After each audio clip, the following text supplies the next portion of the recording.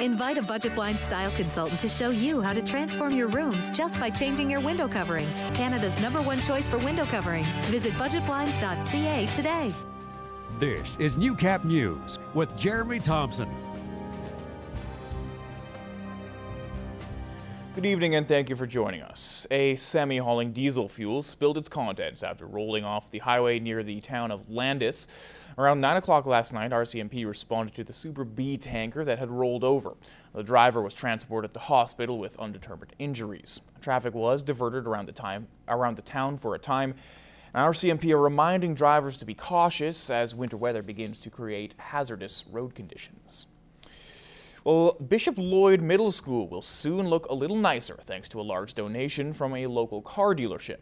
The Drive for Your Students event took place on September 17th, and last week, Westridge Buick GMC presented a $10,000 check to the school. The dealership pledged to donate $20 for every test drive that day, and with a $10,000 max, that works out to 500 test drives. The money will go towards Bishop Lloyd's beautification and breakfast programs.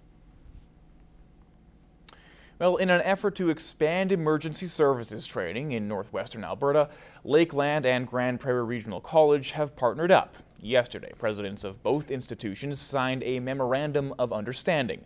The partnership will allow high school students the opportunity to earn college credits as they transition to post-secondary institutions.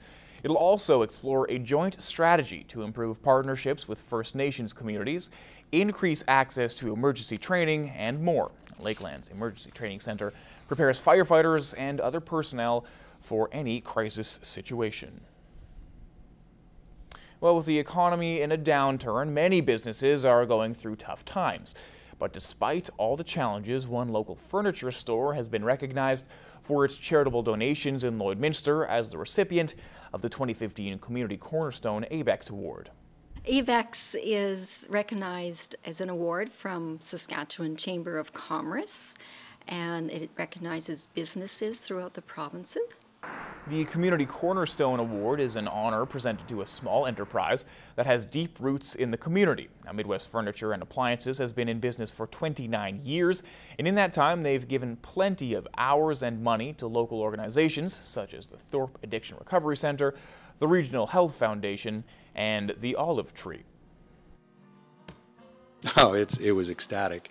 Um, I don't think we totally expected what it was all about. It was pretty amazing because we did not expect to win. And as they have given so much to the community, Lloydminster residents have returned the favor through the online voting process, giving them the win over four other finalists.